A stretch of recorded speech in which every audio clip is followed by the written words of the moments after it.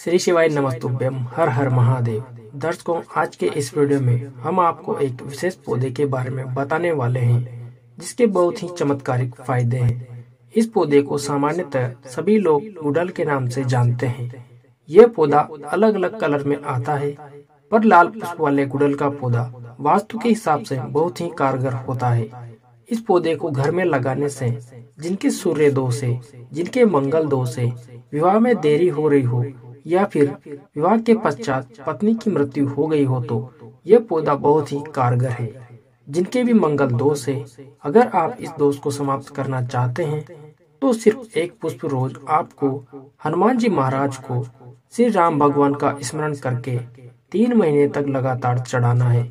चाहे कैसा भी मंगल दोष हो, बिल्कुल समाप्त हो जाएगा, क्योंकि मंगल दोष के कारण लोगों के वैवाहिक जीवन में काफ़ी परेशानियाँ आती है। वैवाहिक जीवन कष्ट में होता है।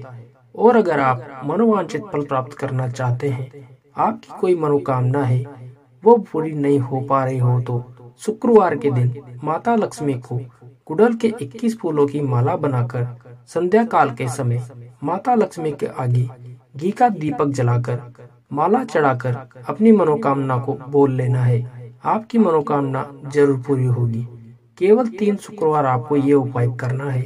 अगर आप गुडल का एक पुष्प भी माता नव दुर्गा को चढ़ा देते हैं तो एक हज़ार गोदान के बराबर माना जाता है। माँ लक्ष्मी और हनुमान जी को गुडल का लाल पुष्प बहुत ही प्रिय होता है। इसको चढ़ाने से मनोकामना जल्द पूरी हो जाती है।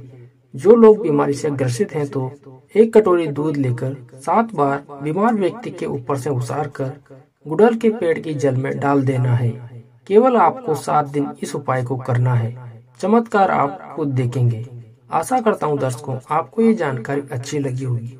अगर आप हमारे इस चैनल पर पहली बार आए हैं तो चैनल को घंटे आइकन के साथ ज़रूर सब्सक्राइब करें।